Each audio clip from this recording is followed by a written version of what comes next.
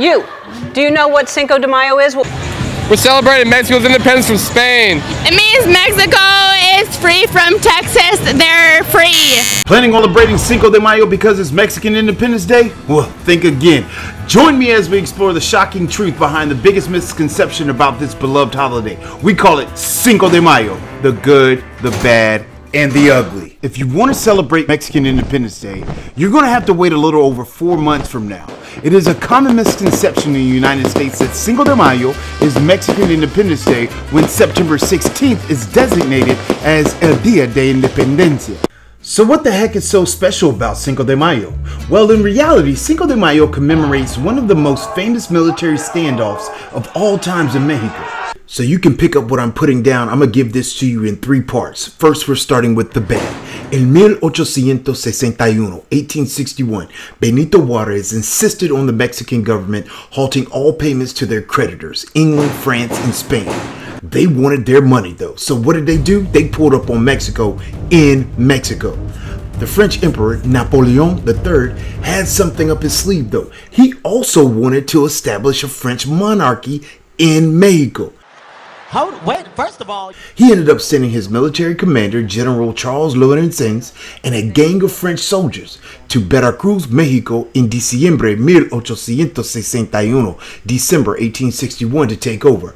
How were they going to pull this off? Head towards Mexico City to establish the monarchy is what they planned on doing. But little did they know, the Mexican soldiers weren't going out like that. Okay, so here's the ugly. El 5 de mayo 1862, cerca de la de Puebla, Mexico. May 5th, 1862, near Puebla, Mexico. The French army began their advance towards Mexico City. Along the way, the Mexican army pulls up and flexes on. The Battle of Puebla went down right there when the French army encountered a small Mexican force near the city of Puebla. But the French, and I'm not even going to say it, believed they could easily defeat the Mexican army, pero el militar mexicano woke up and chose violence on that day and achieved a significant victory against the French army. The battle took place on Cinco de Mayo, which will go down in history as a day of pride and celebration para Mexico. Okay, so here's the good, if you want to call it that. The battle lasted for hours, but in the end, the Mexican army came out with the W. The French army eh, they lost around five or six hundred soldiers, pero militar mexicano, around 100. The victory was significant for Mexico as it gave them a morale boost and showed that they were capable of defending themselves against a powerful foreign army. The victory has now become a symbol of Mexican pride and resistance against foreign intervention. The Battle of Puebla, La Batalla de Puebla, will be remembered as a defining moment in Mexican history and a testament to the courage and determination of the Mexican people. So I know what you're thinking. Why do we have Americans wilding out on Cinco de Mayo, out here talking crazy in these streets? Oh, you, you don't believe me? Uh, take a look right here.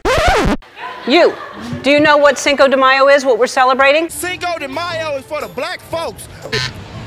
Uh, I wouldn't know, but I um have a lot of respect for the. We're boring. We're white and we're boring.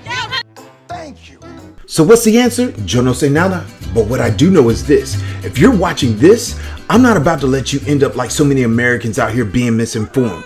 So don't feel ashamed or embarrassed if you've been partying on Cinco de Mayo in the past and didn't even know why. Most people around the world don't know the significance of Cinco de Mayo. So let's fast forward to May 5th, 21st century, where we wrap up the good, the bad, and the ugly all in one. Cinco de Mayo has since then become a popular holiday in the United States. From coast to coast, people are enjoying traditional Mexican food and drinks and dancing to mariachi music and participating in parades and other festivities. I have a lot of facts on this, but I'm not about to bore you with them on here. You can check out my community page for the food and alcohol facts if that interests you.